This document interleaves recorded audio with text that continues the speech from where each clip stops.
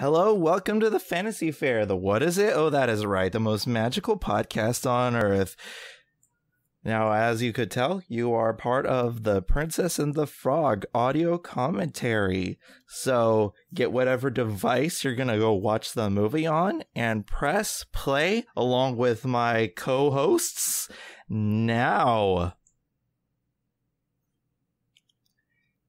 Okay, welcome to the Princess and the Frog audio commentary. Joining me is Alexis Soto. How are you, Alexis? I'm so excited to be here. okay, and then we also have Peter Martinez. How are you, Peter? I'm okay. He's alive, everyone. He's alive. Okay, then we have also the Morenos. How are you guys? We're good. Yeah, we're good. You good? Okay, good. Everybody see Mickey? Yep. yes. barely. Okay. Or barely. Okay. Um so yeah. Why are we doing Princess of the Frog, guys? I don't know. You don't know? We're just doing it for shits and giggles? Okay. Isn't that why you do anything? For shits and giggles? Yeah. Uh, well, we're not chaotic like you, um, Peter. One can't hardly be chaotic as you, Peter, so I am not chaotic. I'm very organized. uh, okay. I like this movie, guys. I don't know about you guys. I, I really enjoy this movie. We'll see throughout the whole thing. Let's see who um who bites each other's heads off first. You guys would know I how I felt about the film if you read my Disney tier list. Or better yet, we had an actual show on the Fantasy Faire a few months back where we talked, we ranked the Disney princess movies, right? And I believe And it all wasn't of us. Peter's number one. well, That was like yeah, we did that what, five years ago yeah. at this point? if I'm not mistaken, we all ranked that movie very, very high. yeah, I think it was my third. It was my number three, I think. Yeah, it was yeah, my I number think three. so. I never ranked the movies, so I don't know. I don't know what I put like number one. Mm. I Uh, do, and it better be the Little Mermaid. Sorry. Wow. Everybody ditches the fish. yeah. Um, that's false. Uh So I mean, clearly we wanted to As- to do it now because of the recent news, right? With there's Splash some Mountain. of Oh, I thought you were Yeah, going to talk Splash about Mountain. Black Lives Matter. well they do. Oh, yeah, you're talking about recent news. I don't know That's not- how. I don't know if it was because of that or because of Splash On. I don't remember because we've been planning this for a really long time. Yeah, like this has been a long time in the making, but we're we're doing it. Um Yeah. I miss 2D animation. This is. Like everything looks gorgeous. Yeah, this might be their most well done 2D animation, I think. Just at how well it looks. hmm and it's not like this like crazy magical places and stuff like it's it's well new orleans is magical but it, it like it's Uh-huh. just new orleans but the, the way just like that freaking hallway how detailed it is Yeah, like it's Yeah. they really went it looks out like of a their way painting. yeah yeah like it definitely takes like influences from the other Disney movies. Like I, I see a lot of Lady and the Tramp in this movie. Um and just like how like it's painted the 2020 we backgrounds don't are. use the trap word okay Oh my god. so what, am I canceled? you've been canceled Uh but yeah. That soup looks good. It's not soup. soup Is gumbo. Stew. The Are you- gumbo, the gumbo, the shrimp and the gumbo. That's yeah. Gets offended. Yeah. It's a stew. I love this Gumbo part. is a stew.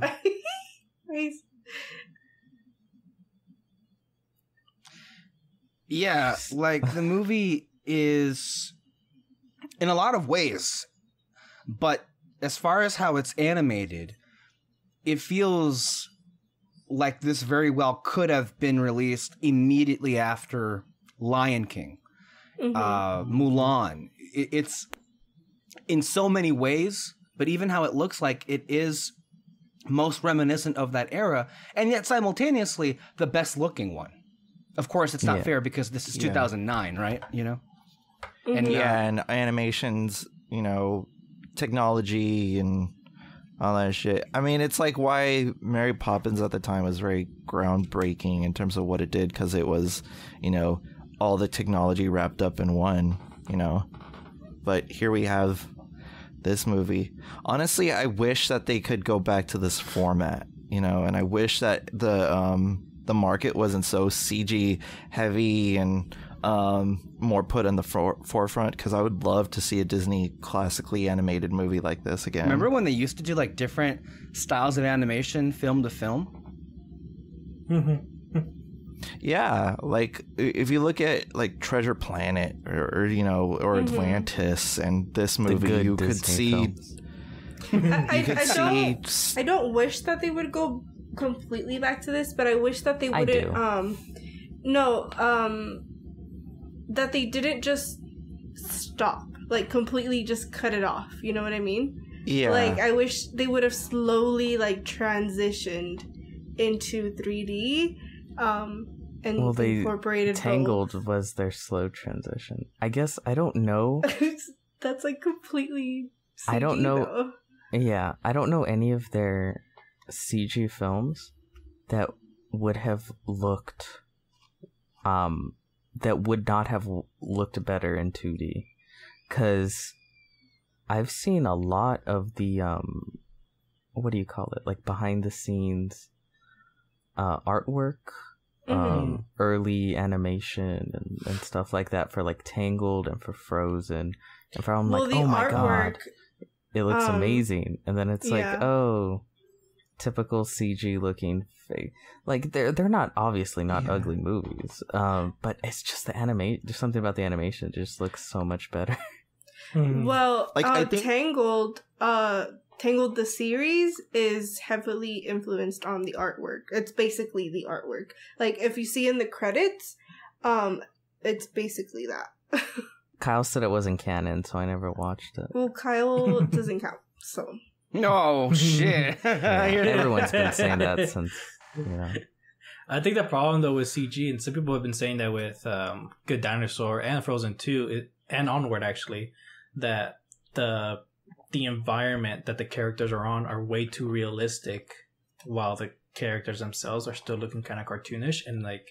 i think that's the most interesting part of it though I agree, yeah, but like Yeah. that's something that kind of takes it out on people that people kind of get taken out of when It watching throws those kinds of off. yeah, throws Okay. them off. Just a here question. What what about movies like Wreck It Ralph or Zootopia? Do you feel that those would have been far better in 2D? um wreck it ralph I think those are maybe di- not. Mm-hmm. in Zootopia, I think it'd be pretty even because I don't think visually it's v- visuals are not not really the point with Zootopia. mm-hmm. yeah, it's more like the message that they're trying to put across. Yeah. Mm-hmm. The world's cool, but I don't know. It's not like oh my god, visually.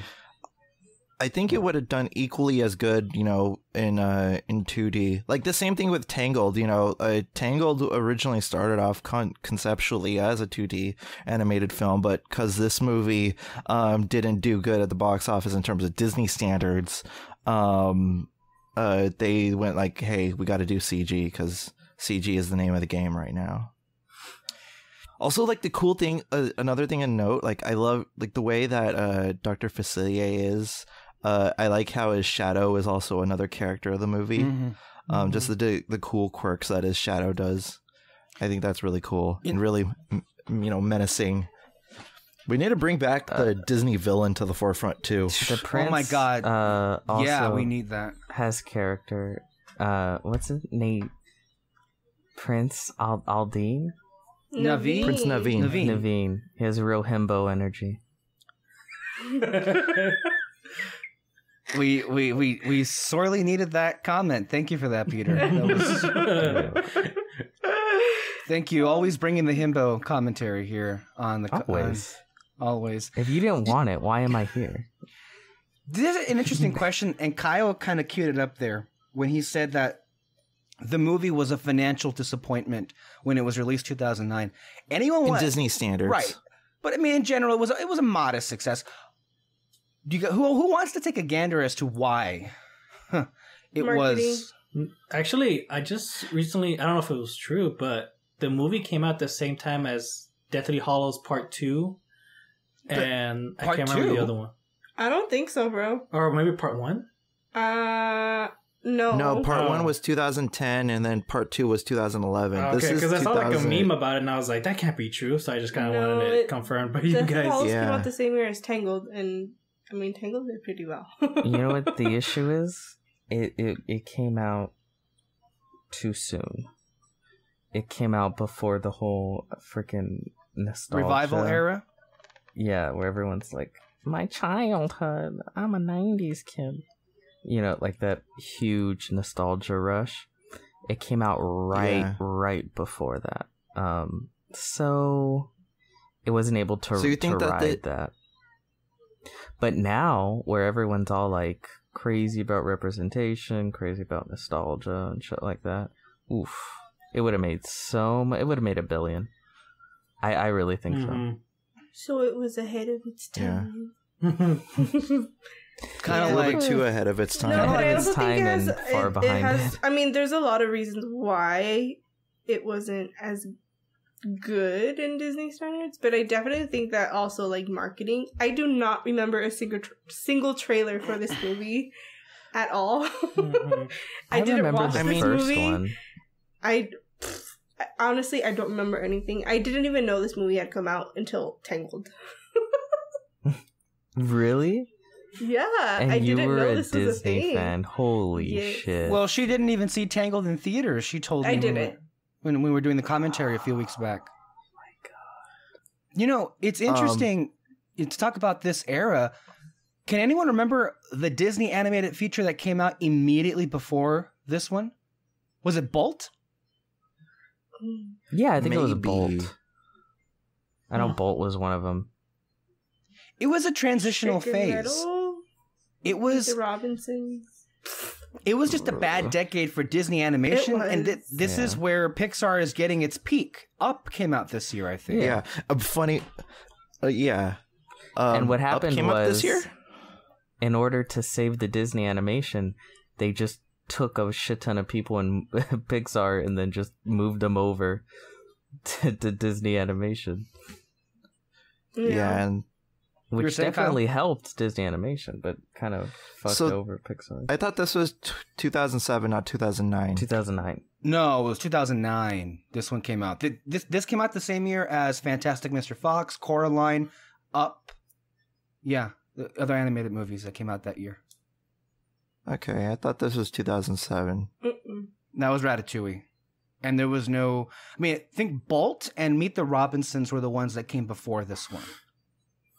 I feel that, that those were Meet the they were, and those were better I- received than Chicken Little and uh, what's it called, Home on the Range, which were just like bottom of the Yeah. barrel.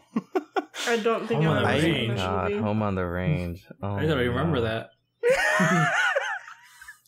Chicken I've really. uh, I know a lot of people don't like it, but I like Meet the Robinsons. I love yeah. Meet the Robinsons. It's great.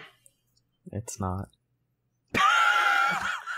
Okay. Mr. Right here. I uh. never saw it. At if that you, point, if you guys, Wait, you've never seen list, Meet the you. Robinsons? well, let me tell you. Look, at that point, You I had what? left.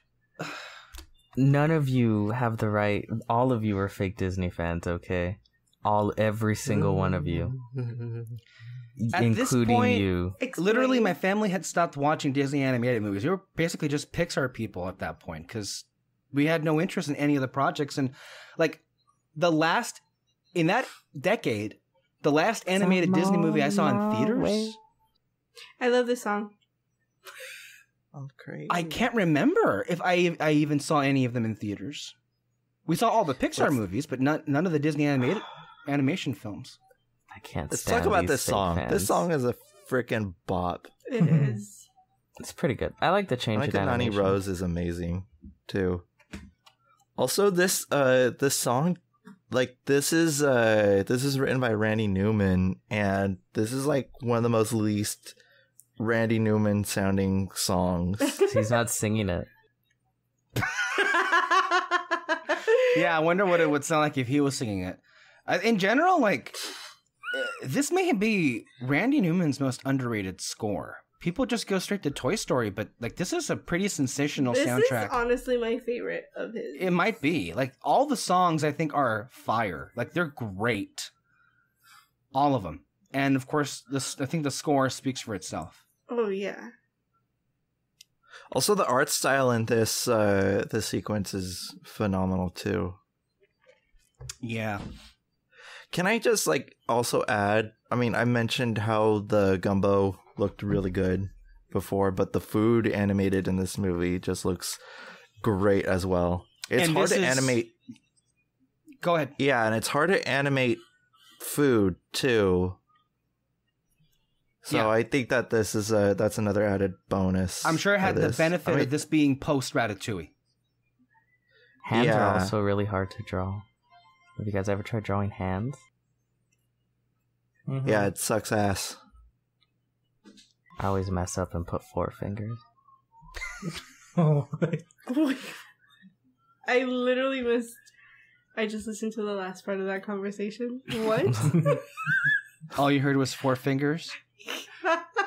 Yeah. Okay, which four fingers do you always Oh, draw? no. the middle stop. You ones. see, you, oh, And, and which ones do you miss? I think like okay. the ring finger. Because You I miss the ring remember the, finger, pinky. so- and there's the middle finger So and then you the just pointer draw Simpsons hands? and then the thumb. Yeah. did this movie come out during Thanksgiving time? I mean, it's gotta, right? I don't fucking know. You look it up. I'm just trying to find out like what what were all the factors that you know caused this movie to. Probably just at the time it wasn't like it, interesting to people. it came out in December. Mm. So what was where's Prince Nadine from? Naveen. Naveen. Where's he from? Moldovia. So it's He just made some up fake country. ass Yeah. Europe. Yes. Europe. like uh fuck, Europe. Is that the same place uh what's her name is from? Moldovia? Ge- Genovia. Genovia. Genovia. Mol- I think Moldovia is real. That No, would have been something if they just gave up and said, you know what, let's just tie in the Princess Diaries for no fucking reason. Let's just, you know, name He's drop a long Genovia. lost prince from Genovia. Gen- they could have we done have it. Genovia, we have Agrabah, we have uh, uh, Andalasia from uh, Enchanted. I'm trying to think of Corona. Liberia. Corona, the land of Corona. Wow, that's the earth. Okay, Peter, I know you absolutely detest remakes and all that Oh, shit. No remakes. But- no. But here's the thing. Here's the thing. If they don't cast Daveed Diggs as uh, Dr. Facilier, I am writing. I, I think he would kill as Dr. do you want to have another remake remedy show? No. then shut your bitch ass. At least at least not with you. Oh, rude. Oh god, this is the best song. You struck me. This it shit's is. so good. I just noticed he has purple eyes. Don't Wow. you dare. Oh, dra- Also, Dr. Also not a- at the parks is amazing. mm-hmm. Great character interaction. I w- with my last interaction with him, he was uh, talking to this little little kid and warning him that Tiana was in the French Market restaurant or something and to stay away from her. With me, he was shooing away a little kid. Also like how well I mean wait I you know we stroked the ego of the animation enough on this, but like this whole sequence with the the shadow. It's, nice and really cool. Yeah, it's nice and funky and also like if you look closely at the at the shadow at the wallpaper, it turns into skull and crossbones. Like that's fucking uh, paying attention to detail if there ever was one right there. He, I don't know if you guys have ever seen it, but he kind of reminds me of Rasputin from Anastasia. Oh yeah, I remember that one. Once Played fabulously upon by a Christopher Lloyd. December- Hmm. I mostly just like this, just the way he convinces that one guy to join him. I don't know the yeah. name. That's what. That's the thing. I like when um storytelling is actually incorporated into the music. It's not which just was shepherded in many ways by Mr. Howard Ashman. You can catch now on Disney Plus streaming. It's a hell of a documentary. Um, no, but seriously, that's I think all of us are in complete agreement that that's kind of the best kind of use for this medium, which is a musical. You use the songs to push forward the narrative, which, ironically enough, think back to the early '90s or the late '80s, that seemed like such a revolutionary idea, but it makes so much sense. Yeah, like it's like a, it's part of the story, and it makes it more I, I like seamless hmm when they transition from uh from dialogue to uh to song. Yeah. I mean, I don't think that they were far away from kind of figuring that out when Howard Ashman joined. But the only thing that they were using it for was mainly, uh, I mean, kind of sort of character development, but just like very. But that's the point, very right? It wasn't. It wasn't utilized uh, the best way it could be. yeah. Yeah. Like it was more of like the the staple that they got really you know right back then was the want song, and like you know uh, I love the- this drop. Yeah, Dream is a wish you're- the way he says it. Yeah. Imagine hearing that as you're about to go down the log on Splash Mountain. That's what I can't wait for. This is I the was- perfect song for that. I was, li- I think a long time ago, I was looking at a behind the scenes for this, and what I love is like they were talking about what's so great about animation is the backgrounds are just nonsense, exactly. but as as because it's animation, This. the oh, viewers my go God. with it, right? So at the end, when it's like um this long ass hallway, like where the fuck even is he?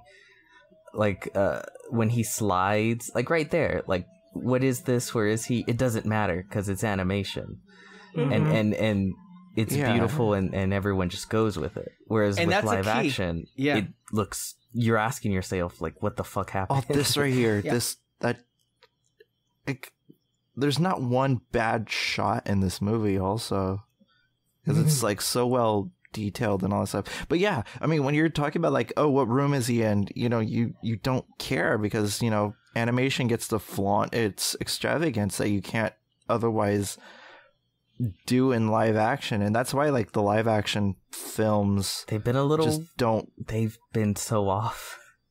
Any live Yeah, action please. adaptation is, I think, the point here, right? Is that that's actually a key uh, pillar as to why they don't work. Peter, what you just like, that's a Mhm. perfect illustration as to why it can't translate.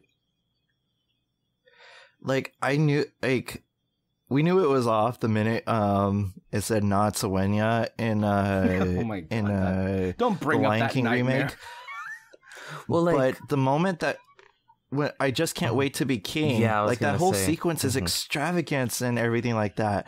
But you lose that when they're just running around in the savannah, and I was it. embarrassed you know. for the people on that movie when I saw that sequence. It was abysmal. that honestly was abysmal. That's such a fun song, and it was.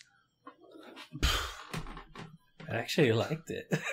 I didn't. I didn't. I- it's just the the fucking CGI like lions looking at you through the camera the entire time, and it just looks so boring. You don't have any of the just like. running around. With other baby animals, though. Tati watch a a nature documentary. too. Yeah. Uh, that's her name, right? Tati. What? What? Charlotte? Le- oh my god. Who's Tati? Have you seen this movie? I'm bad with names. Y- you are. yeah.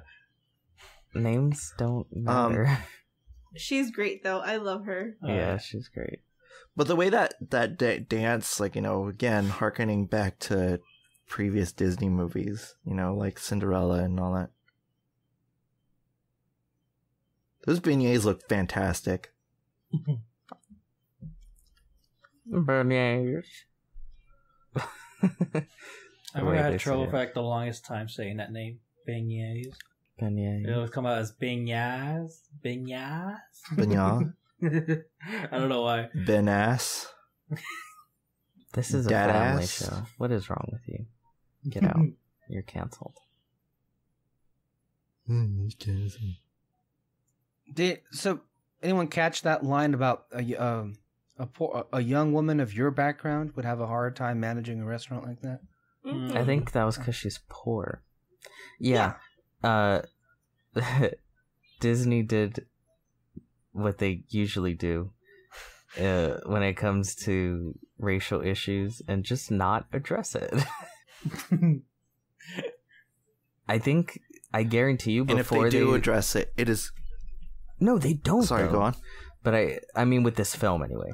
And I feel like at the very beginning of like working on this film, they thought like, okay, like do we address it, do we not? And then I at some point during development, they're just like, yeah, we're just not going to address race like it doesn't even exist in this world. Mhm. I think is basically how they decided to go about it. Well, in a, I guess, a sad twist of fate, or maybe all too predictable, could that have been one of the factors why the film wasn't as financially successful in the United States of America um in 2009? no, not in This is- 2009. I don't think people were asking for that in 2009. I think today that could have affected people. There would be a 100 Mhm. articles like it. It doesn't. Yeah, yeah, like it doesn't address shit. But in 2009, I- I feel like people would probably prefer it that way because at that point, 2009, you got to remember people were like, "We're in a post-racial America." Uh, racism. Yeah, 'cause, we like, ended it a year ago. Because like Obama, yeah. yeah, Obama, you know, became president, and all of a sudden everybody was like, "Well, that's it. America is no longer racist." Yeah. So there was no real want for people didn't there wasn't a want from people to address racism. It was more of like, no, we're over it. Like don't even bring it up. Well, like shut the fuck let, up. me, let me just clarify in case I wasn't clear about that. Do you? I guess what I was trying to to say is the fact that this is a black character, a Mhm. black lead character. Did that somehow become a factor in the film's performance at the box office in 2009? Maybe because there were definitely a lot of people excited, you know, first Black Princess obviously. But unlike today, like again, there isn't that fever pitched Mm-hmm. screech. And I don't mean Like this Black in a negative Panther, way. basically the Black Yeah, Panther. like- effect. yeah. just this need for like no like we want Mhm. diversity representation. back then it was just like i guess but i mean we already have a black president so it's like do we even need what is representation yeah it was a different time Yeah. It's so. Now there's like years yeah. ago, I know. eleven years ago. I know. Yeah. Now the name of 20, you know it? Hollywood is the dire need for representation. Mm-hmm. But I mean, like anything first, I mean, it, it took until 2009, but I'm sure that there,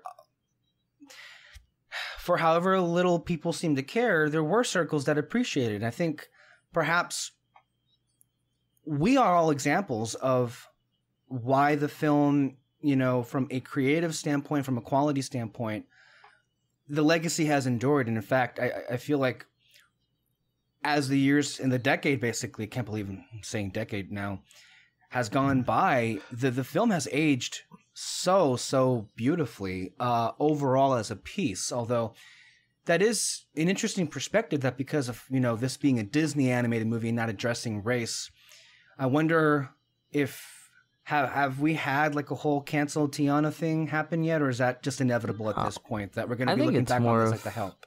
No i think more people are just like well there is one thing that people have talked about with this film which is about to happen right n- right now and it's that like every time yeah. you put a black individual in an animated film, they gotta kind of disappear their blackness for like the majority of the film.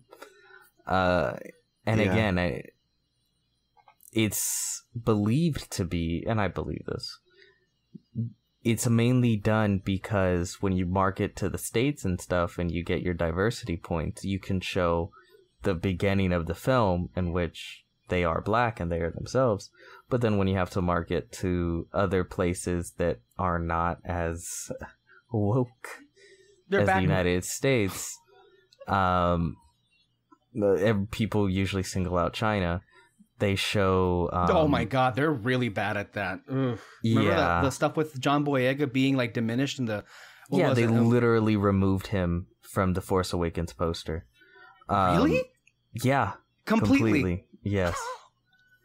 Um, and they they could just show them when they're cute, cartoony characters. Show them when they're frogs and stuff, and not show them, yeah, being black. Yeah. So, and there has Yeah, been a cry, which sucks, but you know. mhm. Mhm. That that's kind of the only complaint that I've heard about this movie. Mm. That you know they love this movie, but the fact that she's herself for like 0.2 seconds. and and you know it's it's it's very much relevant as it always has been but a film that i think all of us are looking forward to because it looks amazing but i if it really like occurred to me when i saw the trailer for it soul does Mhm. this same thing too Yeah. Mm, People started saying that again when the Soul trailer dropped, and Soul looks amazing. But it, yeah, it is the same thing where it's like, oh, it is a black guy and em- play, embracing a lot of Black American culture, and gone. you know, yeah. and it it- it really is this trying to. It comes off feeling like you're trying to have your cake and eat it too, with being woke and still getting uh racist people's money. and um yeah, no. That's not a it's it's the same I don't think it's nearly as bad, but I think it's along the same complaints when it's like this is our first gay character. And it's like they're gay because they they Where? they did a hand movement for 2 seconds in the background. which is And it's- offensive really yeah. homophobic, you know, stuff right there. And I should say, we're all, I think, going to be a little. I'm bracing myself for how bad they're doing that with. So Jungle Cruise is going to come out, I think, soonish, maybe next year, and they're supposed supposedly the first official out character.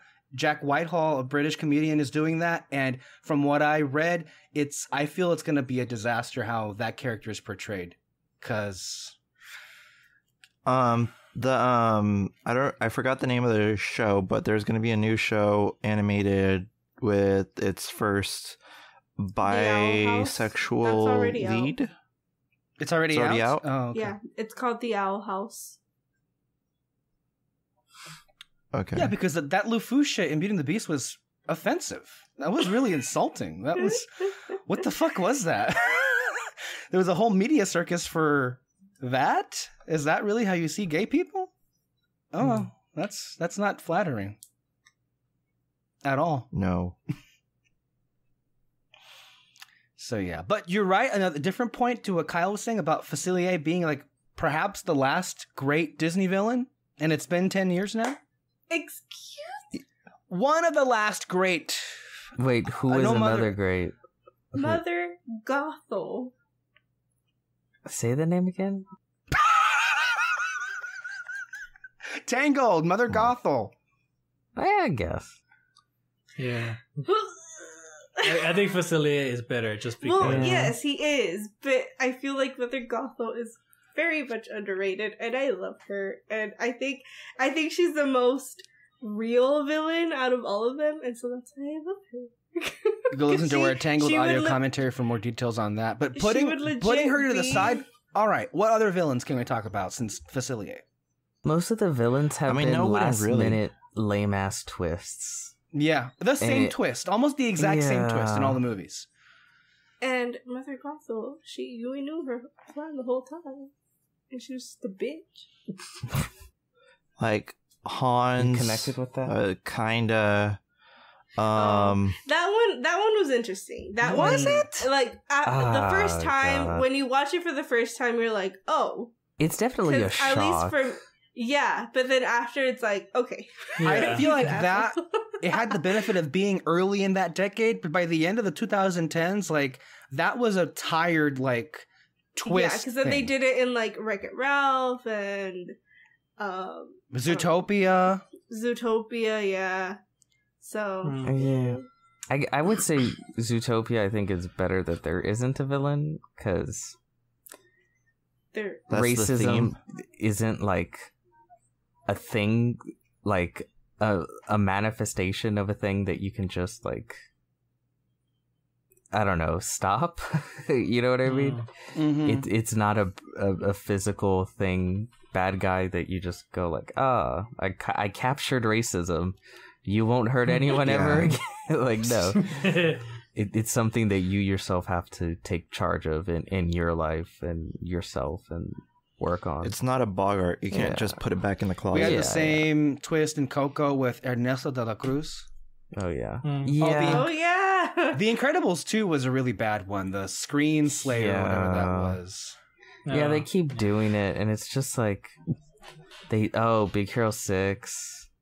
Oh, that's right. Big hmm Mm. This this whole last decade was just a plot twist. Uh, it's like Gotcha. oh, there's like, and it's I. I find the like known villains so much more interesting and memorable than any Mhm. of Mhm. than any of the twists. Right. Like Scar and Dr. Facilier and It's Shrek's place.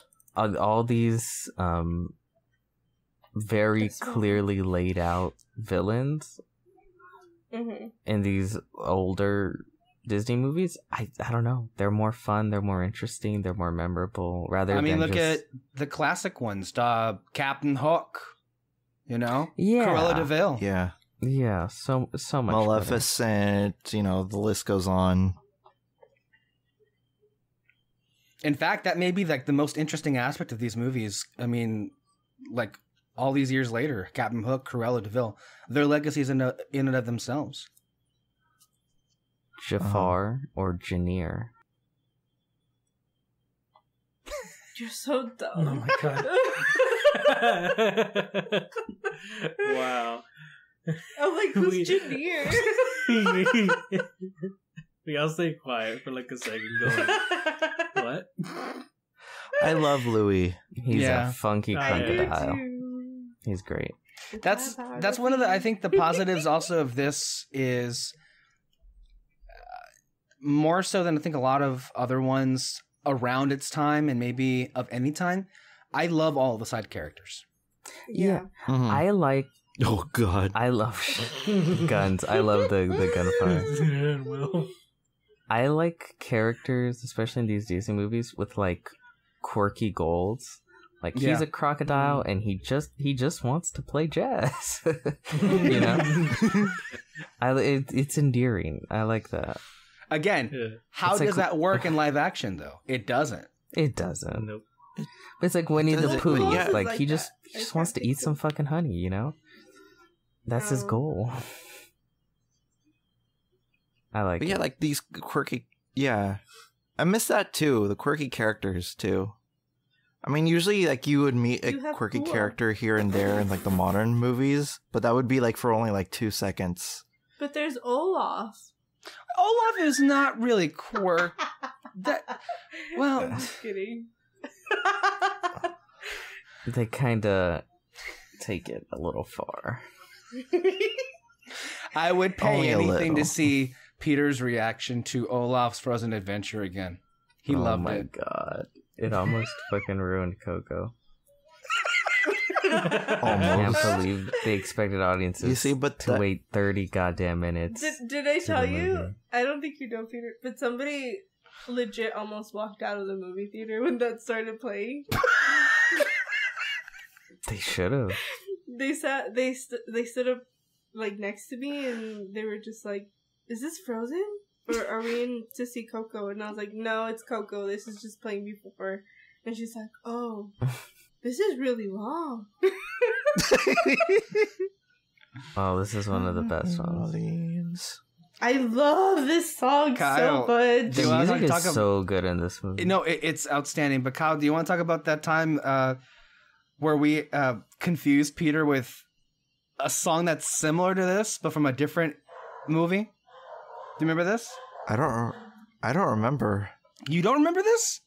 So we No. were uh, driving. We were driving back from a movie, and he hadn't heard of the song "When We're Human Again," the a cut song from Beauty and the Beast that was included in like a special edition. Oh. okay. All right. I remember that now. What are you Holy talking shit. about? And Talk about you. because I was Me? playing the song on, on my car "When We're Human Again" from that, and Peter Mhm. was like, "Wait a minute." This is the same song from the one that we're listening to right now, "The Princess and the Frog." when I'm when we're a human being, and it's like, well, yeah, they are the same song pretty much. Yeah. But it sound but it sounds nothing alike though. but um with the Randy Newman twist. Yeah.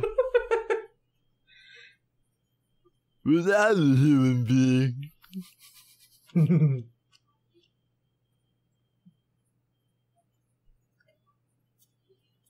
Prince it's such a dick. Nazil. God.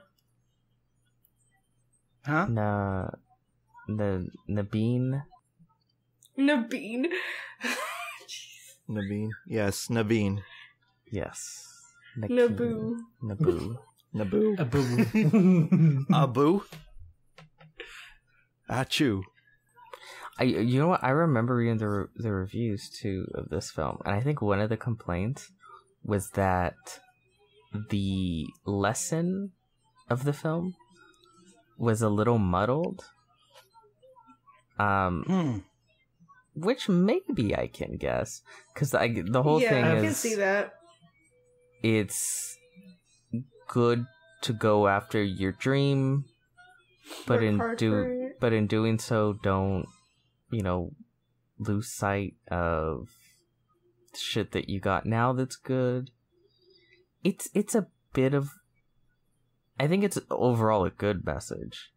But it can Mhm. be I get that it's a little muddled maybe. I don't know.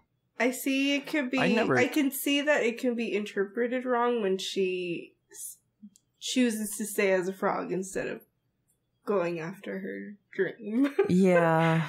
It can be a, a little weird. Um, I never saw that or Well, isn't- interpreted the whole message of that. Mhm. I, I, I, on my my reading of the of the message of the movie was more of like you know baseline, just like work work for your dreams instead of wishing upon it. You know, on a star like the old Disney movies of yore. Well, You know, isn't the and- the message basically the dig a little deeper?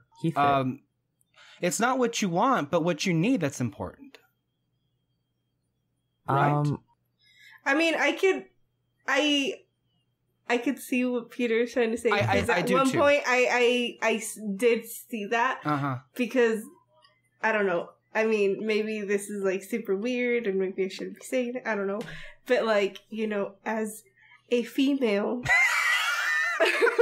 I mean, it's your right to say that. That's a fact. by the way, is this Um, brown I can. face? I what oh my god. is this? What? Look, Brown look. face. Oh He's my white now. God. It's magic. It doesn't count. I don't So, wait, well, okay, now that uh, okay, oh god, I just thought of something. So, if, like in. Harry Potter, Oh, God. like if you change with the the polyjuice potion or whatever. Oh is- my god. Is it, is it Alexis, you were blackface? saying. Okay. and you change into a person of color. Yeah. Anyways, um, You were saying as a woman. that did As long as they're not cross my trans, right? mind at some point. According to, Um, Oh God! Don't. We're not gonna dig into that well. What did he say? at least according to I uh, don't he want to said, know. like- in context of the Harry Potter universe, you know, he said, you know, as long as they're not trans, oh. J.K. Rowling. Oh know, my wants, uh, god. is J.K. I'm, I'm that's in, in accordance to J.K. Rowling. you know? It- endorsing. Um, Who is she? Uh, Who's that? uh, being her. a being a spokesman of the Fantasy Faire, Mhm. I have to say that trans lives do matter. Well, yeah, I, I- Just so we're clear. I mean, yeah, it, it and it's clear that she's full of shit, J.K. Rowling. Uh, in particular, when it comes, I mean, in anything really these days, but especially with trans, her being transphobic. You were saying, Alexis, She- as a woman, how you do were you saying, create something like the polyjuice potion, but then like not understand Oh trans God. people? I don't know. Anyways, go ahead. You were talking about how you're a female or something. oh my god. You're on a roll, Peter. Nothing. No, what was the comment? Um, that what we were talking about earlier, pre polyjuice potion. Um, that did cross my mind at some point because, again, as a female, you know, the expectation of like choosing the guy or like letting you know the guy do all the work. Well, not all the work. Like being supported by a guy type of thing. Yeah. Like I, I'm not a fan of that. So yeah, that for sure did cross my mind. But um I obviously see like the bigger picture and what they were trying to go for. You're saying sugar daddies are not in? Oh, and we should have we should have you know pointed this out when you know Peter talked about also, he's a piece of shit. Like yeah we, so. We should have pointed this out uh when we were talking about the whole racial component um Uh-huh. and how they don't address it. As much as, of course, I love them, we should acknowledge that, look, the representation definitely wasn't there behind the camera. Of course, you know, John Musker and Ron Clements are legends in my view. I love all of their films. They're amazing. And they think this, to me, I feel this is a truly terrific and I think just great film. So how was Treasure Planet? Yeah. Fantastic. for the most part.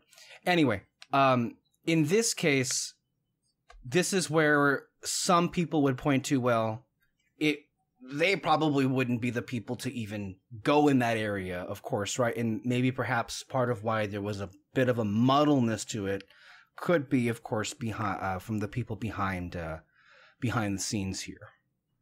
But I mean, they did Mhm. it with Moana. Make way, make way. Isn't that movie also Yeah. being criticized though for diminishing, you know, native people? Or yeah, Is it? Did because it? they were like you used it as a as a front to you know, and it also it, it, a lot of people think that Moana comes across as disingenuous in terms of like what it's you know its representation and all that stuff and just because uh you have this representation you know, you know you use it to paint this narrative of you know the disney formula It's and all big, that stuff and it's just like this long Big budgeted Disney film. It's it's as authentic as that can possibly be in that situation. like I don't know, I don't know what you want. going down the bayou Bayou. yeah. It's like saying a We're just- Doritos commercial isn't authentic. I mean, yeah it's as authentic as it can be for being a Doritos commercial, but at, at that point, either it exists or it doesn't. Like I don't know, I don't know what you want. Going down the bayou. which is kind of like my thing, you know, my go-to for most of these movies that we've discussed, and the the Princess and the Frog and Moana. For however many criticisms that we could, you know, take into account, I do feel that it is creating a net positive. You know, like the message. Yeah. uh-huh. I mean, look at um Coco. Mm-hmm. I feel like that movie. I mean, maybe not fully represents, you know, All Latin culture. whatever. Yeah, Mm-hmm. but it did a pretty damn good job, you know. yeah Um, and my yeah. Yeah. um my family was uh uh on my father's side they were thrilled that moana exists because finally they have a pacific islander representation in in uh in a disney film you know or like a major film for that matter because we are of you know pacific island you know descent and that is a huge component of it you know and my sister Erica, she took that with you know, you know, in her stride. Yeah. The- the- I've the fact seen that the it's, videos. yeah. yeah, she was absolutely thrilled that there's someone who you know, who has a dark complexion like her. She also you has know? I mean that. Ghost eh, demon buddies. I love it. yeah, ghost demon buddies. It reminds me of Night on Bald Witch Mountain. Yeah, Don't know what that is. that's from Fantasia. Yeah, Oh. Fantasia. It's one Oh, I of the haven't best seen that. parts of Fantasia. Chernobog. yeah, Chernobog. Chernobog comes Oh. out. I haven't seen it. in, Consider the Right. Do you know the Chernobog real is? Yes, I know who the Chernobyl Okay. real ultimate evil in the Disney animated. Pantheon, Yeah, Pantheon. because he's he's basically Satan. basic, Mhm. basically. He's the Um, big, big but there's villain. Hades. No, but he's Yeah, the big, big the villain in Hades um, the Underworld. Kingdom Keepers books. He's the big villain in the Kingdom Keepers Oh, books. Chernobog. Yeah. Oh, I thought you were talking about Dr. Facilier. I'm No. like, No, no, um, no, no. What? Hades, Hades is more like a used car salesman more than anything.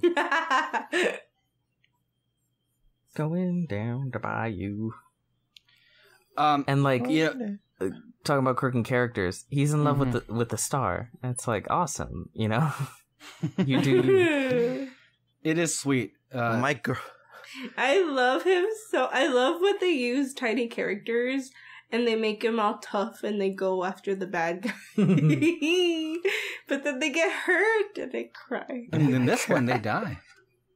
Whoa, Yeah. no spoilers. It's pretty like the way that he goes out is pretty freaking graphic Mhm. too. I mean, you don't see And, it, oh, but just like, the sound. Not that I, not that I like love that scene, but um, I'm a huge fan of Doctor Facilier. Like after when he like walks away and he's just like he's like looking over his shoulder to see if anybody saw, and he's just like, That's All right, so hilarious because oh look, guys, it's, a Tr- bug. like like he act like he just murdered someone, yeah, but he just it's a bug. Like no one would give a shit in in reality. Guys. if someone saw that he stepped on a bug, no one would be like, "Oh my god, he murdered." Everyone would just be like, "Oh, how you doing? Okay. Nightly, lovely evening." No one's gonna be like, "What did you do?" They're like, "Oh, you stepped on a bug." Okay. But he acts like he just murdered someone, and now he's like trying to act cool You about it. Like no one would give a shit. I just think that's hilarious.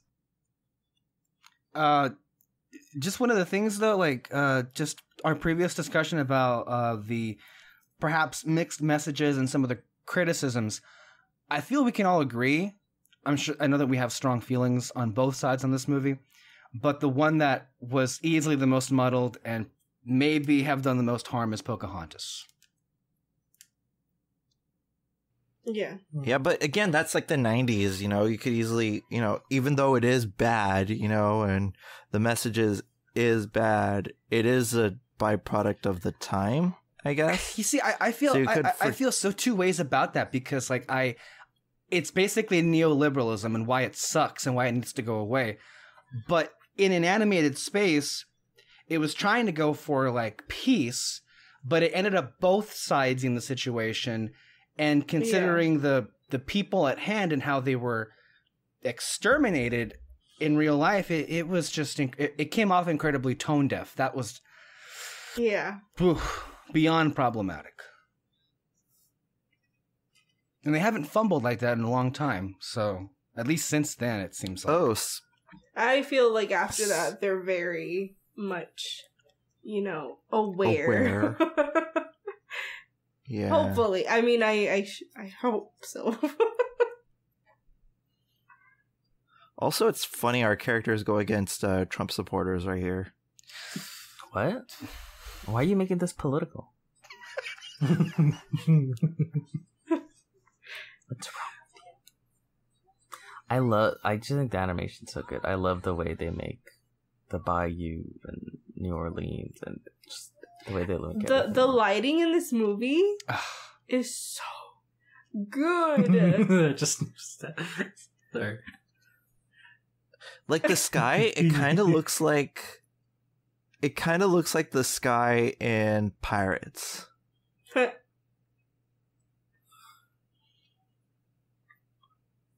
I'm just so.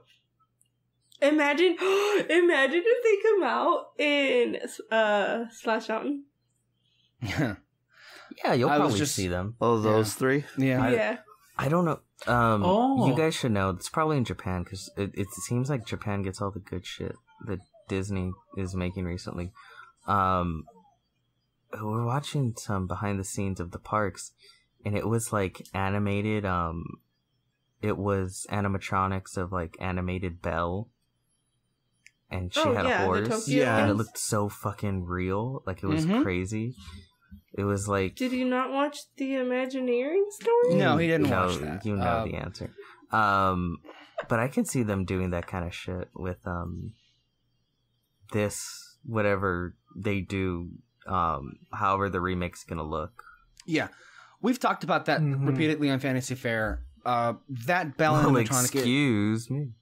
that Belle animatronic is the new frontier. Oh, it's Yeah. It really is. Yeah. because it's animated. Like it looks like freaking. Well, you've seen Roger the Spider-Man one, right? yeah. Oh, Oh, yeah. yeah. I don't think he. I saw like a small glimpse where it's like it's literally swinging or some shit. Yeah. Mhm. Yeah, and it's doing like crazy acrobatics and all that shit. And I honestly, it's really, really, really impressive. Like that they're able to manage the, and also like how fluid all these animatronics are. You know, I mean, Mhm. we saw like we unfortunately we haven't been on Rise of the Resistance, but we've And seen we the never will. and like the way that Yeah. and the way that for Kylo Biden. Ren,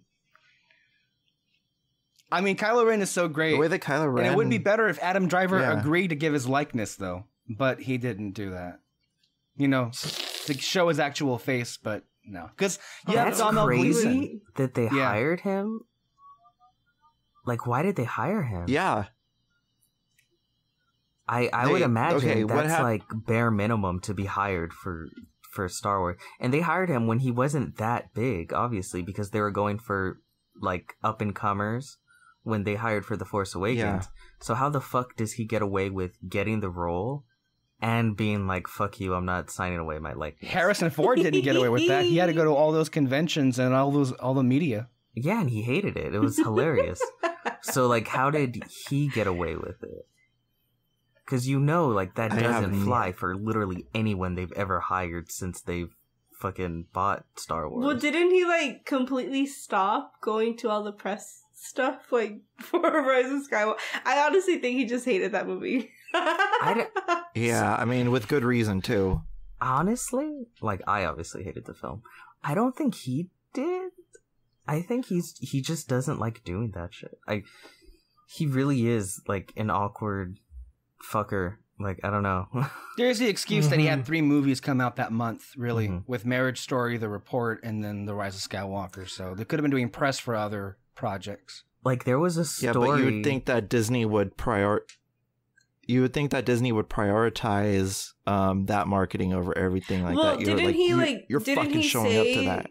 No, didn't he? He say uh, that he was gonna do the other ones because they for sure weren't gonna get a lot of as much press as, much, Rise of. Skywalker. But there was also a story, I think, during The Last Jedi where um, Mark Hamill basically went up to him and he's like, hey, like, within the story, you know, I probably, like, raised you, like, we're supposed to be family and stuff like that. Like, and in, in a sense, to sort of build maybe a familial bond, he's asked him, like, do you want to hang out, go for lunch or whatever? And, and uh, Adam Driver was just like, no. so they did it. I love it. I'm sure it was a polite no. It, he's not, uh, from what I can tell, like, yeah, he was. He probably wasn't rude, but it was probably blunt, a polite bluntness. Like, no, I'm good. I mean, I can Yeah, see why no, he bro. said no though, because he, he's kind of hates him, Mhm. and he very much likes to get in the headspace of the character that he's playing. Yeah, yeah, he's a great actor. he's an actor. You got to say it a little different. But I'm, it's just like, who, Speaking of genuine, who says no to Not, not that I don't like this song, Yeah. but this is my least favorite song. Really? The whole- yeah. But I uh, love there- this There's like a specific reason though, because um, 'cause you don't work, You're not a for romantic. so when they would do after Christmas, it would be like Valentine's for two months, and this was one of the songs I would always play. So Uh. that's why. There are so many love songs in Disney to pick from, and this is the one that they played the most? no, no, no. Um, like the because we get like one CD, Mm. and so for some reason, like whenever I would be on stage, this is the one that would be playing all the time. just l- real quick, who says no to having the literal image of you in a Disney theme park? That is just crazy. That's like immortalizing you for like life. You know? I'm sorry. Oh that- yeah, he would 100% hate that. I know he would, but it's like Yeah. So I don't I don't I mean, I could see how normal people would not be against that, but he's not. like how fast would all of you sign away your likeness to be in a Disney Oh. park? I kind of to be in a Disney park, it's kind No, of to- a way to get Sign- smacked by a Mickey Oh, Mouse actor.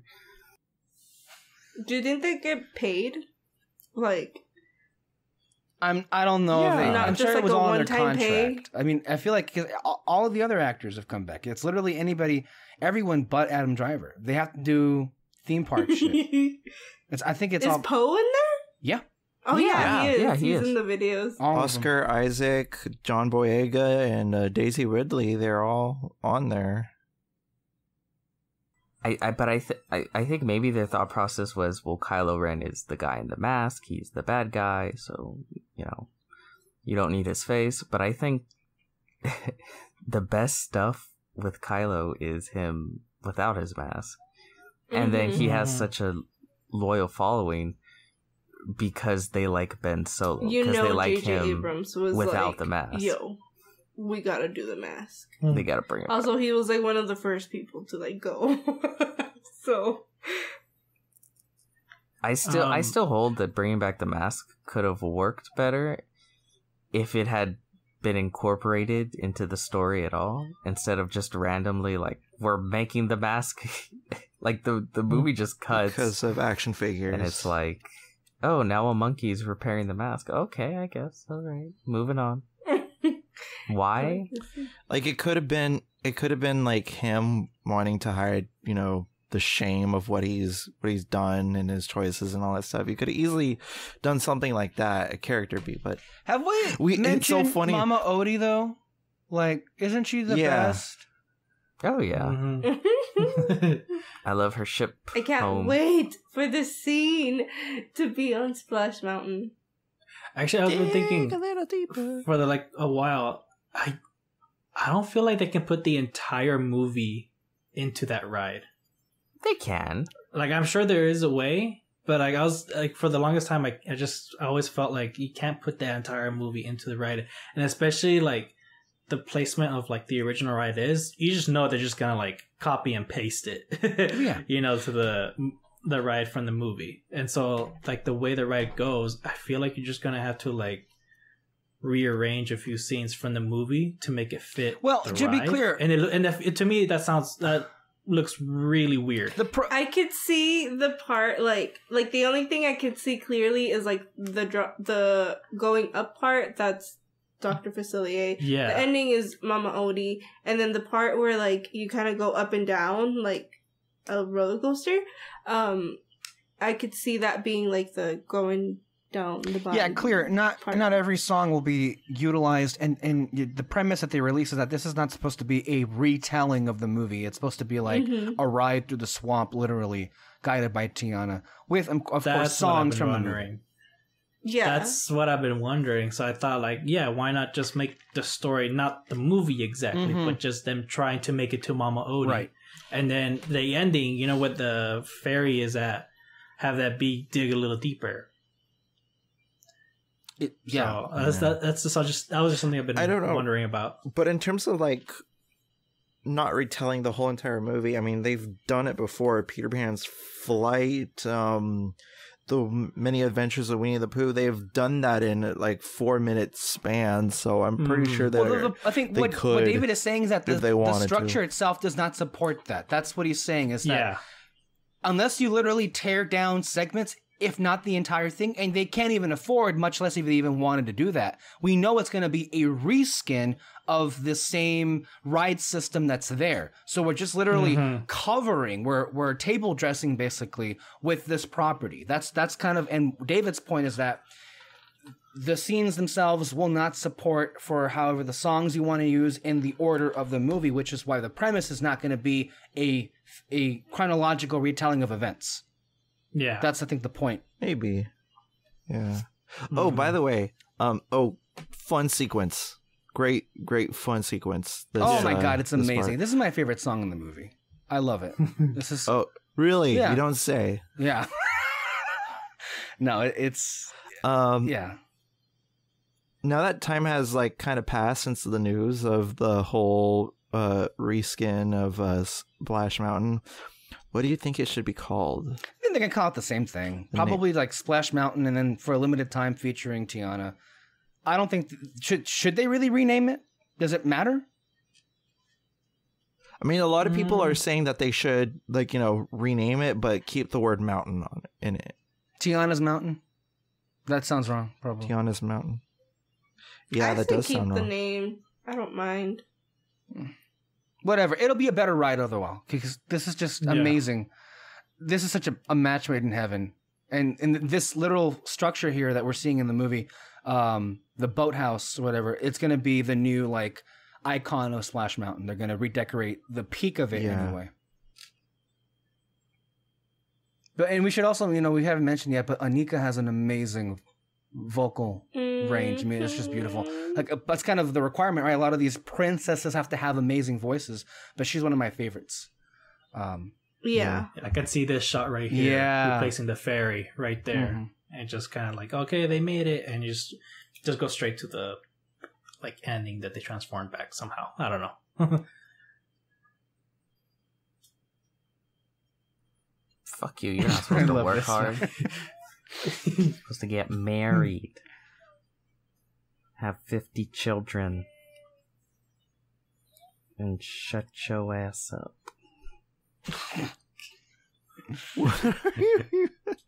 okay. Hey, that's Mama Odie's message, not mine. She actually played Angelica in Hamilton at one point. Hmm. Jennifer Lewis, No. Anika. Yeah. Oh, okay. She was she was the original one, I believe. What's Hamilton? Yeah. off the, the off Broadway before they hit it big. Explain it to me in great Okay, detail. was she, but here's the thing: was she satisfied though?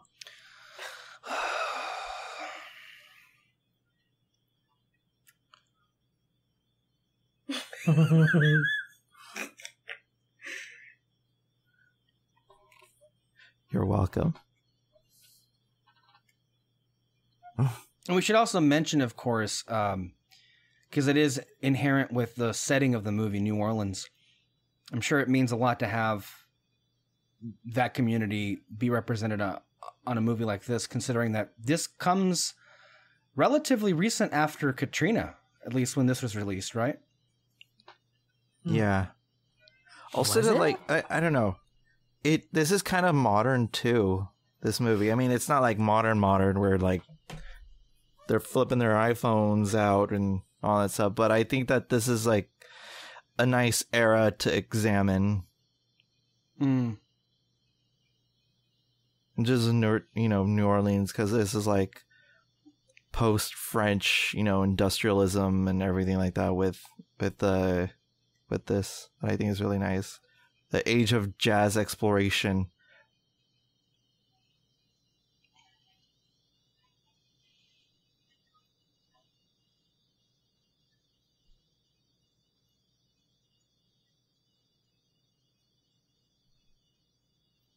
Dig little deep. Ooh, all those beads. I wonder how they got there.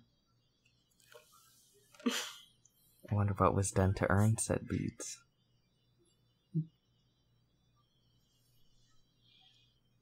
So he's known her for two days? Yep. I think Here we go. just a day, right? Maybe two. A day and two nights. Two days. Yeah. Say a day and two nights. He's ready. He's gonna marry that frog.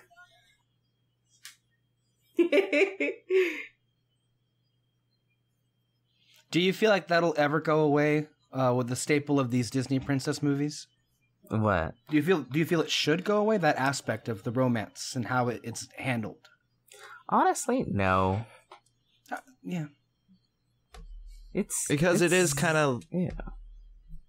it's one of those things that you know it is the sorry for my referentials, but it, it is the tale as old as time. You know,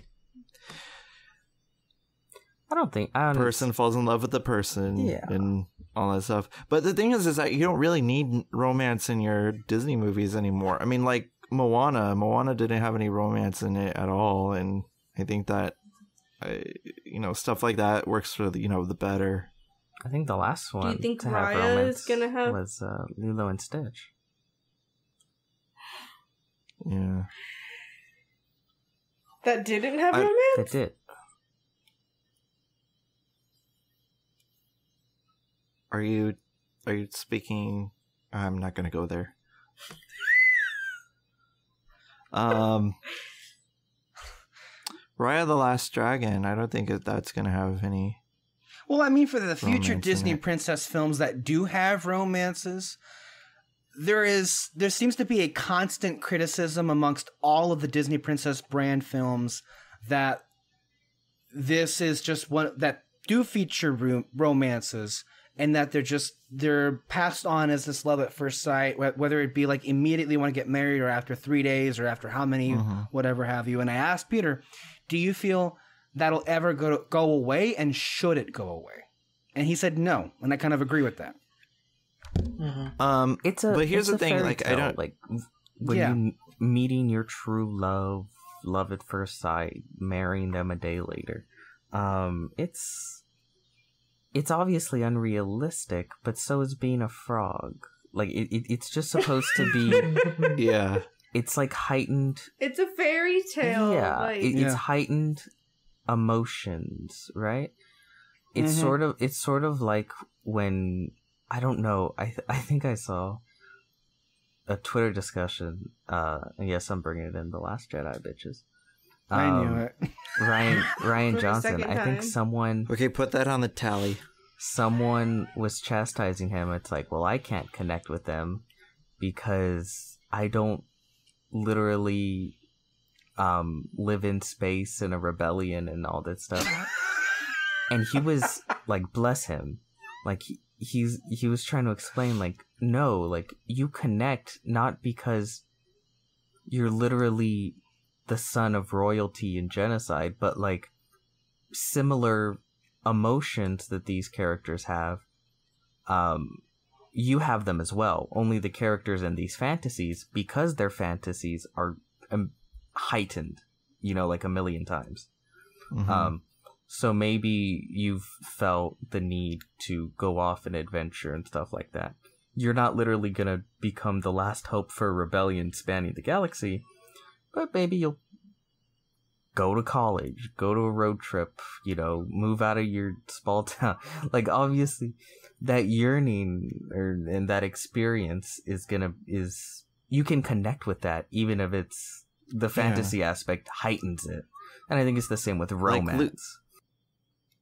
like Luke is relatable because he wants, you know, something greater than what's in his backyard, you know, and that's where he that's why the binary sunset scene is so profound if it if not been used a bajillion times, you know, in Star Wars.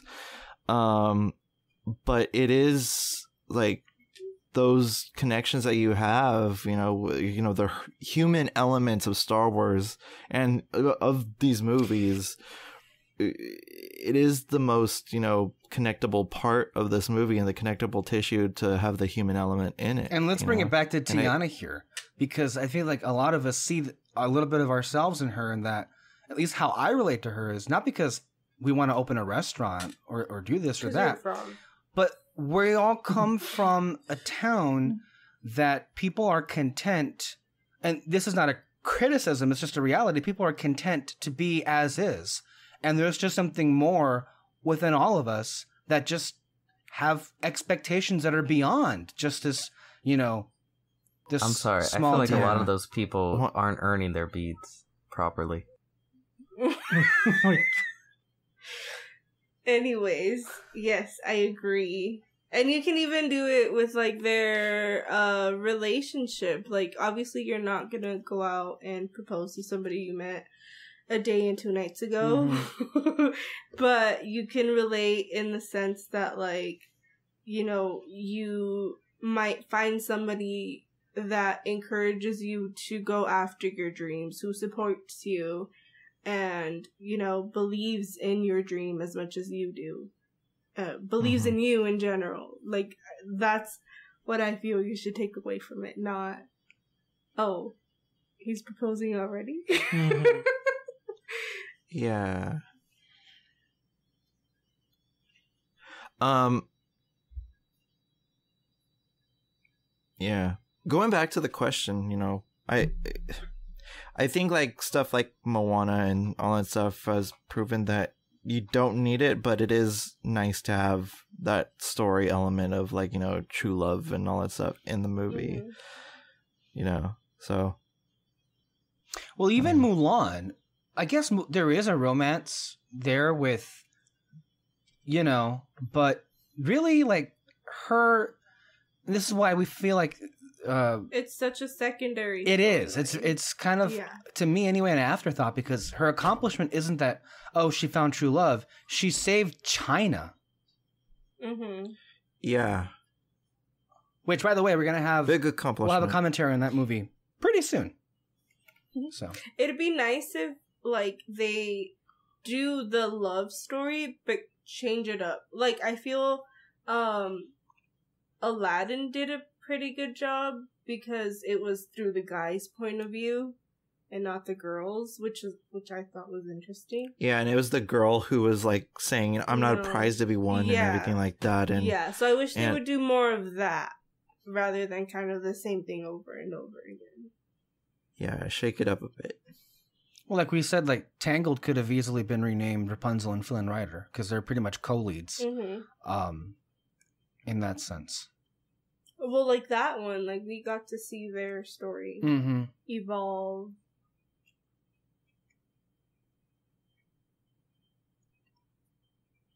And Entangled actually, he said like, oh, and after telling her like over and over again, she finally said yes. So some time passed before if they you actually. watch Tangled the series. yeah, so It's the now movie canon. Like sometime.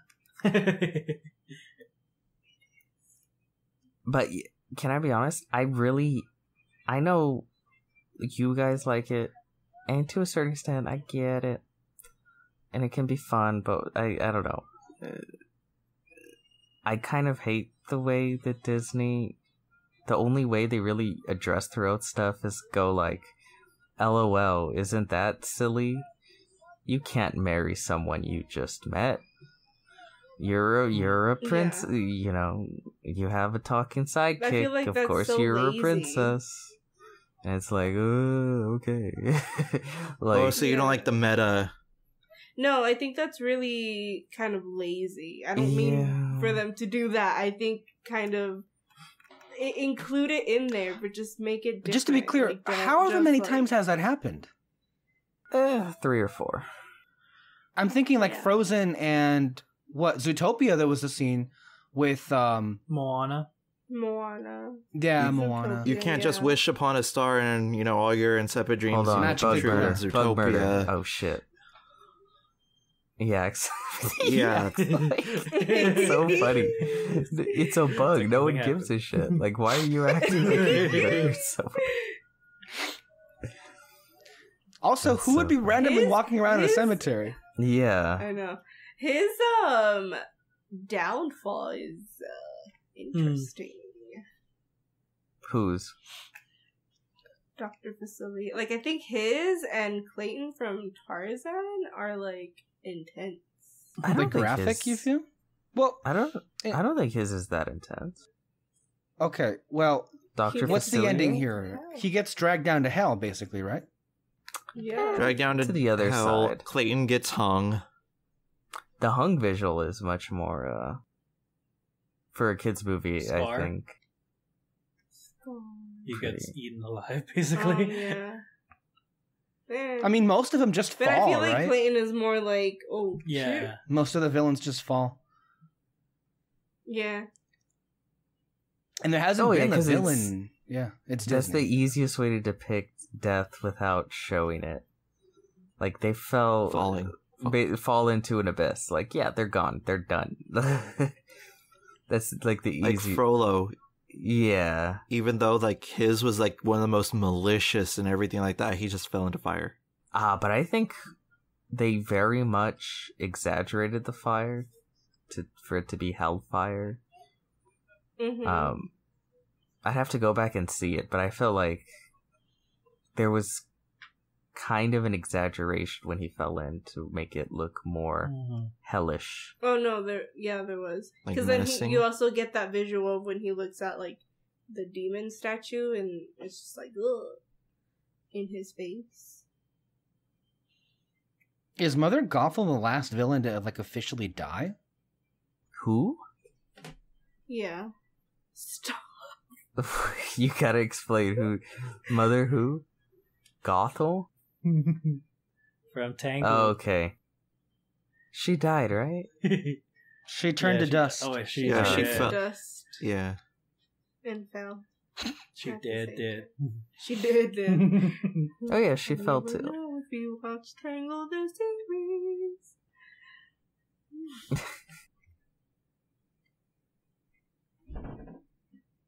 Tangled. Didn't you hate Tangled? Oh no, that was Alexis. He hated it. Listen, Thank you. listen to the audio commentary. All is explained. Thank you, Peter, for plugging our audio commentary for Tangled. We had such a great time, and David, who reviewed it, gave it a glowing review. But not you. No, yeah. The the audio commentary, not the movie. The, the movie is great. yeah, I know. I know you didn't give the movie a glowing review. Oh my god, I didn't give the movie a review. Didn't see it when it came out. Yeah, that says everything, doesn't Oh, it? Oh shit! Fuck that this frog. is a glorious death. Shiny. it's very musical. I like how you said it was intense, but it's also like really fun though. Just Yeah. because, oh, you're It is a little dark though. It's like yeah, Yeah. Oh my Yeah. god, I read something that was like uh all of the Disney villains like they fall to their death or like uh get eaten and stuff. Dr. Facilier dies because uh from his songs. Yeah, they just kind of it's drag creepy. him down. It's a creepy visual, but it's so cool. but it it it doesn't seem like hell. It's like the underworld or some shit like that. Oh, by the way, that tombstone of Facilier, you could easily include that into the haunted mansion. So that would be a funny, oh, a did you guys Easter did I send you guys that message of um to have uh the haunted mansion themed after Dr. Facilier? Like during some time oh like the beginnings of like when they open uh reopen Splash Mountain. That'd be really cool. How about the month of Mardi Gras? Or the month of Mardi Gras, that would be so cool. I mean, there's a lot of think there's a would be lot of great like overlays you can do with Haunted Mansion. The the only problem is though, it di- it does take time to do the night Yeah. Before Christmas, and it's designed to stay for like three or four months because of Halloween and Christmas, and that costs money to do. yeah, I know. Yeah. uh, unfortunately, I mean, in a perfect world, we can like have a like a whole variety of different overlays for Haunted Mansion, but I still haven't even done the Nightmare Before Christmas overlay. Same.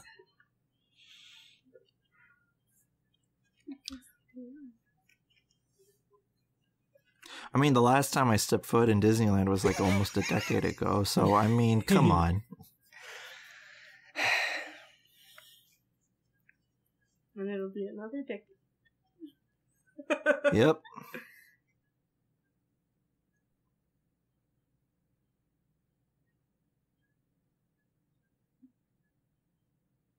So I mean, it, at least what I'm picking up here, like what connects, you know, Naveen and um, Tiana is they both are missing the, kind of the same thing, and that is love. And that's kind of what they need. Yeah, she needs to give And up on keep- her dreams of self-employment and marry a man. But isn't isn't it the isn't it the flip here is that in this case the guy's dream is the girl, not the other way around. Yeah,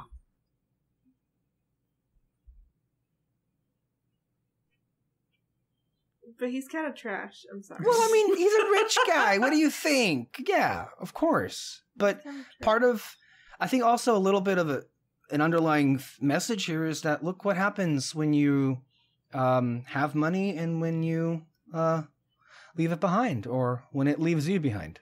He's got himbo energy. Yeah. Himbo. Goddamn.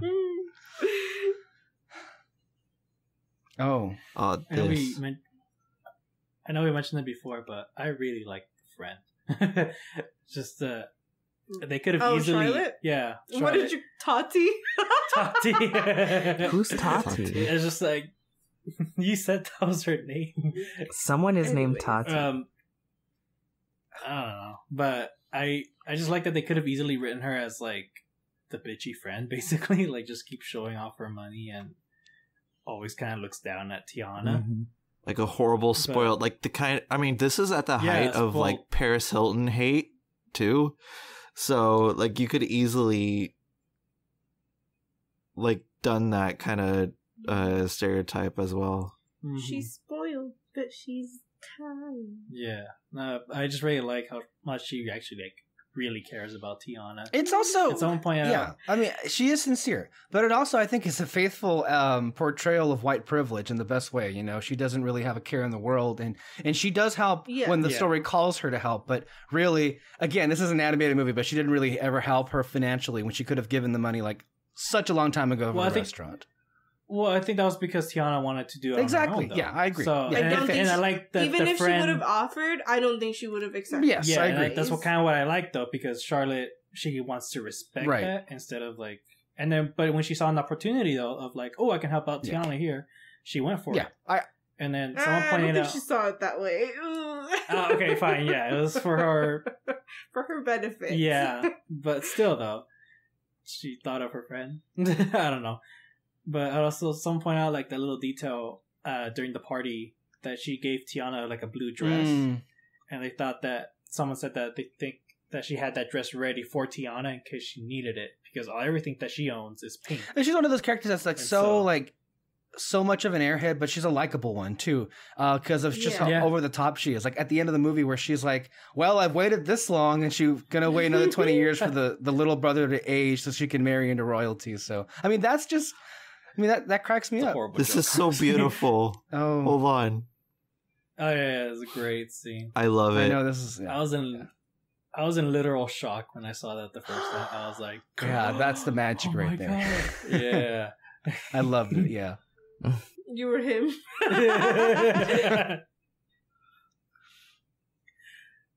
The second star to the right. that has a You new know what? meaning now. yeah. Um, I don't think they have, but I always wanted them to add that star in all the the Disney intros oh, the second star? Because you know how it starts with like they look at the star, and then it Mhm. pans down to like the castle and stuff like that. I always wanted like after that um movie after Princess and the Frog to add a second star um after that for every Disney whatever. I thought that would have been Mhm. nice.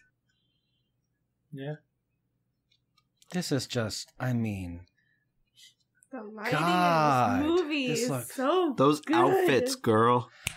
Uh, which dress, if anybody cares, do they prefer? Uh, is the more iconic dress this one or, or the the blue one? The green. I like the blue. Make it green, make it blue, make it pink. No, there is no pink one. Always the blue dress. Make it blue. Even Oh. like in Little Mermaid, the blue dress. I like Hmm. the green though. Green is, I think, well, I don't know. I, they're both great. I I think green. I think is more iconic because it's like symbolizing like her transformation too. I think. This one the stress. is great too, though. God, this is rendered so beautifully. I mean, gosh. Yeah, and if they did use like CG and any of like the animation, like it's so seamless too. Imagine if this had come out like after Lion King. That could have changed history. I mean, for the the studio. hmm Yeah. But then again, it would have like competed against Titanic, and that wasn't good for anybody. I love how enthusiastic she is too. Mhm. This is great. Oh, Tiana, I, I- again, we mentioned it before on the Fantasy Faire, but wouldn't it be nice to have this at a Disney park? Tiana's place. Wasn't Peter gonna go to it? Oh, I love this one. This is a good green day.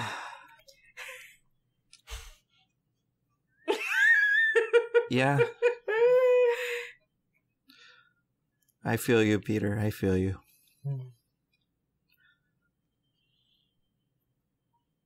He got his dream. Can play jazz.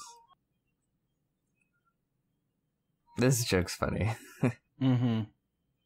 It's funny, but it's also kind of like weird. I'm- yeah, obviously. So is every other relationship in cinematic history. There's yeah.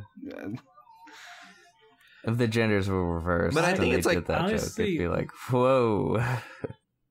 yeah, but I actually, I kind of wish they did it differently though. Where she meets, if you remember the party, that one dude that was dressed as like a, um, some Joker, Mhm. a court jester. and like he's trying to dance with her, and but she like completely blows him off. Yeah. I feel like it would have been better if he was like there working at the at the restaurant, and she's like, "Oh hey, what's up?" And then Oh, that would have been nice. Yeah. Yeah. Yeah, John Musker and Ron Clements. Good job. Yeah. Good job, and they, guys. and they would have won that year if it not for Up. So Yeah. John Lasseter, hey John Lasseter, hi. Eee. Just call her. Um, yeah. So good movie. Uh, final thoughts before we end this uh, commentary, guys. One of my favorites. Yeah, disney I think we can say that across the board. Yep. Uh, Mhm. I love the characters. I love the the story, the message. The the, the animation is just uh, exquisite. Is the best way of saying it. It's one of the best looking. The soundtrack, the music just speaks to my soul. Um, Mhm. and I have a strong feeling. I think it already is, but it it's going to be uh, looked back very fondly. I I feel. If not, yeah, if not already, I think Mhm. it. I to me, I qualify it as a classic already.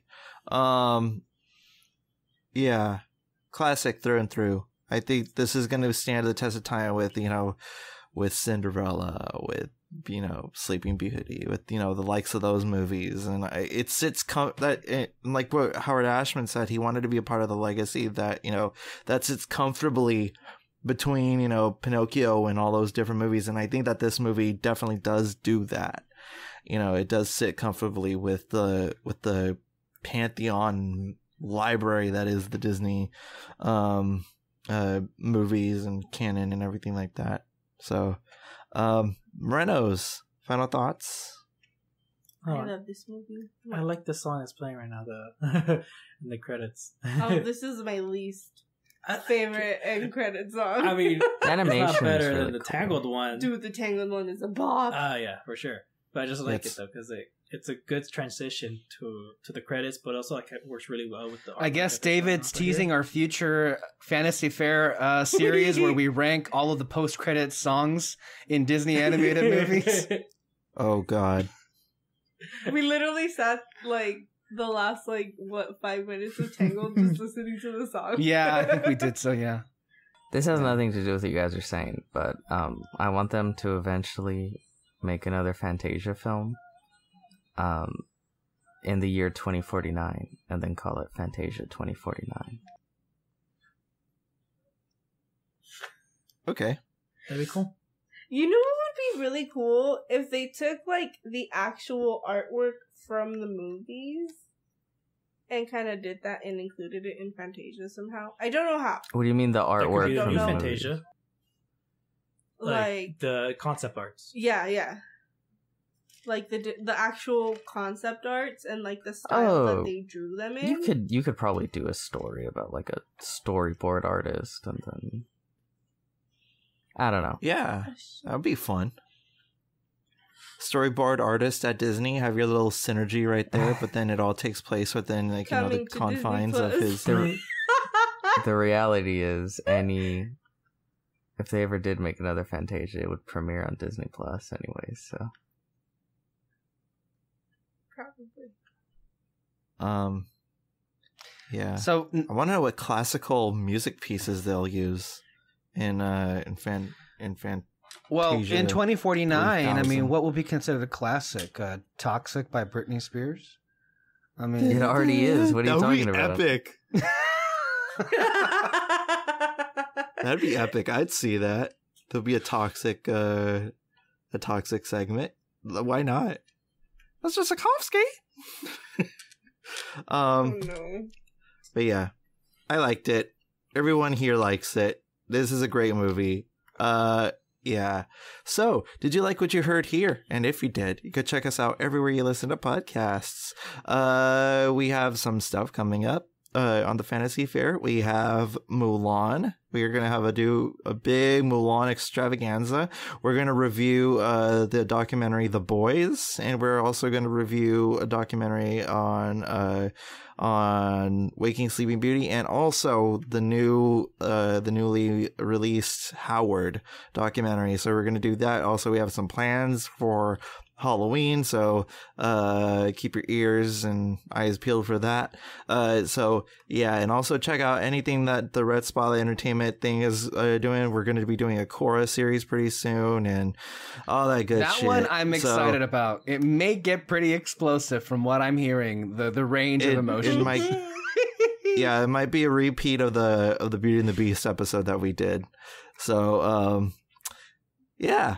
So, without further ado, I'm your host Kyle Lira, and as always, stay magical, everyone.